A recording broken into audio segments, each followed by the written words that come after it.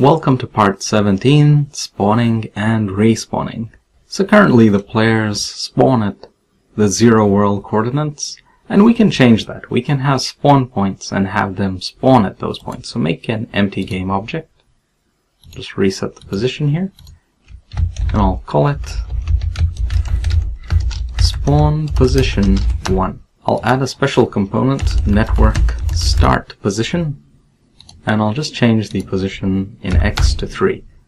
I'll duplicate this and call it spawn position 2 and make the x minus 3.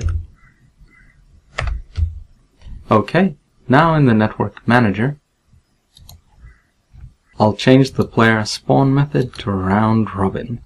And because of the network start position, now the network manager will automatically recognize these start positions and spawn the players at one of the two of them. So I'll go ahead and build and run that to see it in action. Okay, so if I join, there we go, that's one position. Well, probably shouldn't have moved to better show that. And if I spawn the other, there you go, you can see that it spawned in a different position.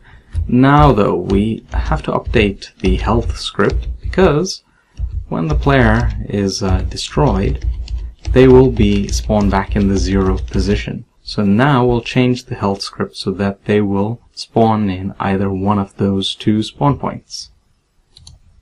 So let's edit the health script. Okay, so we'll add a new variable, private network start position. It's an array, spawn points, I'll add a start method as well. So void start, this is a Unity method, of course.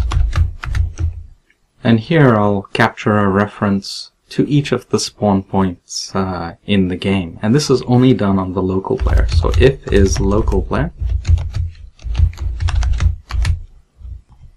spawn points is equal to find objects of type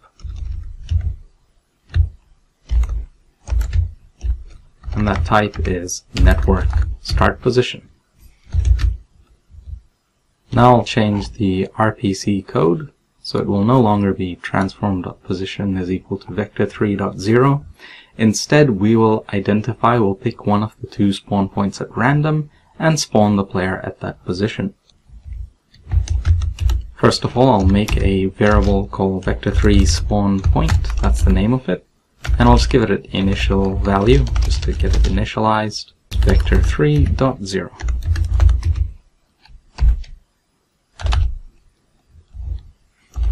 if spawn points is not equal to null and spawn points dot length is greater than 0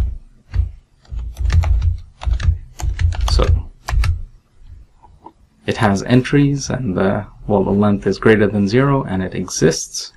Then in that case spawn point is equal to spawn points.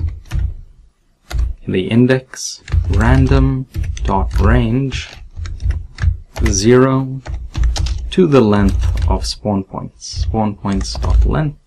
So because it's an int it'll be uh, it'll exclude the uh, length value, so the number, it will be one less than that.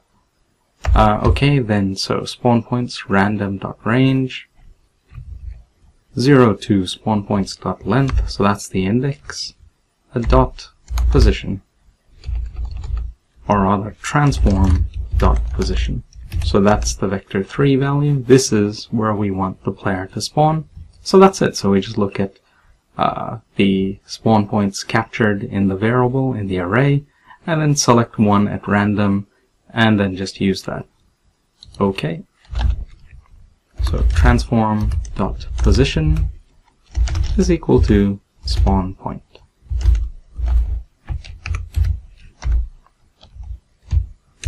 Right, so save that and that should be it. So build and run. Okay, so let me move the player away. Let me move the client. Alright, so it looks like I'll just have to do some shooting to clear stuff up.